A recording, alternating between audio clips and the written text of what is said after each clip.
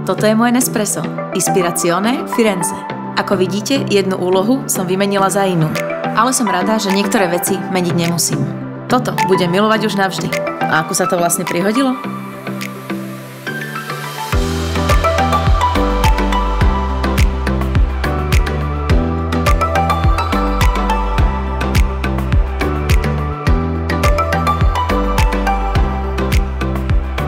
Toto je môj Nespresso. Začnite svoj príbeh aj vy.